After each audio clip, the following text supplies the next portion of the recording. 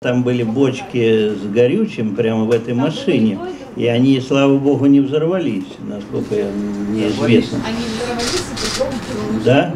Вы знаете, вот именно после этого случая, еще двух, как, вот как раз как бутылки с коктейлями э, Молотова кинули в нашу студию в Петербурге, э, затем подожгли машину нашего адвоката, который активно нас защищал, Константин Добрынин.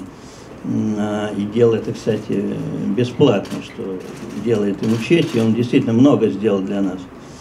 И вот это была стадия, потому что все высказывания э, депутата Поклонской я воспринимал с э, некоторой, я бы сказал, даже улыбкой и иронией, потому что, ну, у человека может быть такое мнение, ради бога, ну, она не видела при этом.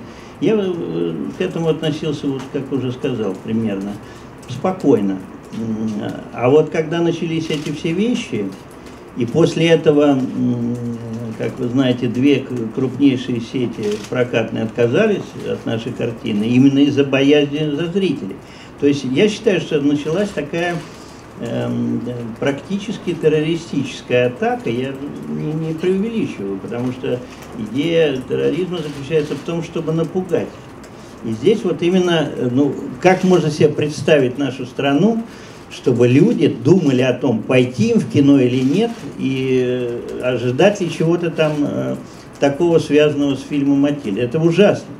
И тут э, мы все активно вступили в, как бы в новую стадию, и я думаю, что все наши многочисленные обращения адвокатов и, э, и нас, прокуратуру, в МВД, они сыграли свою роль, потому что все эти люди, как вы знаете, которые вот сделали все эти э, дела плохие уже, они были, они арестованы, и будет суд, и им грозит наказание уголовное. Я думаю, что это сыграло свою роль определенную, потому что эти сети вернулись. Э, Было еще обращение МВД, э, которое конкретно э, было сказано, что э, э, любое как бы, отделение полиции вблизи кинотеатра обязано обеспечивать э, порядок, да, потому что это уже преступление. Э, И вы знаете, поразительно другое, что вот начался прокат, и могу вам сказать, что и я, и многие мои товарищи, мы как бы ждали каких-то, ну, ну, например, там, я уж не говорю про элементарные плакаты, там, что «Долой Матильду» или там «Сгорите в огне» или еще что-то. Или больше всего мы боялись звонков, вот, которые происходят сейчас не только в кинотеатрах, когда якобы что-то подложено там и так далее.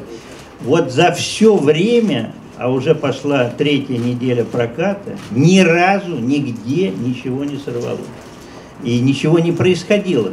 Только вот на премьере э, у Мариинского театра и в кинотеатре «Октябрь» в Москве тоже на премьерном показе жалкие там были 5-6 человек с плакатиками. Э, И то, как мне кажется, им дали, условно говоря, по 100 рублей, они их держали, потому что как только к ним подошли, они тут же свернули и ушли. Ничего там не было. Поэтому все это, с одной стороны, чуть преувеличено, но с другой стороны, действительно, наша история, я имею в виду с фильмом, показала, что очень много вот этой мути поднялось. И то, что я называю таким агрессивным православием, потому что эти люди, эти организации на- называют себя там, православное государство, еще как-то. И мне кажется, что они, наоборот, позорят православие, и всю, всю православную веру. И все наоборот, не мы позорим, а они позорят. И вот этот факт, конечно, ужасен.